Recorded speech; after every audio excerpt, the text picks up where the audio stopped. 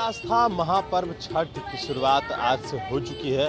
आप सभी को भी छठ की हार्दिक शुभकामनाएँ। आपको बता दें कि आज नहाय खाए है और नहाय खाए के साथ छठ की शुरुआत तो हो ही गई है। साथ ही साथ कल खरना है और उसके बाद उपवास, फिर पारण। लेकिन बाज़ार सज चुका है। देखिए, आज से बाज़ार फलों का जो बाज़ार है, वो सज गया है और तस्वीरें हम चल कर दिखाएँगे, क्योंकि जिस तरीके से यहाँ फलों की लगी है दुकान।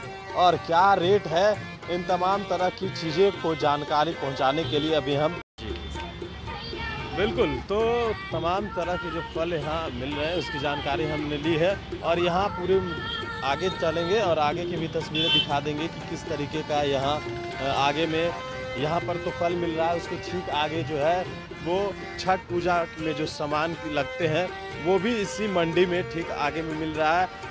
केला है, नारियल भी है और ये तमाम तरह के जो फल, छठ पर्व में लगते हैं, उसको लेकर जो है दुकानें सजने शुरू हो गए हैं। और देखिए कि किस तरीके से यहाँ पर जो है केतारी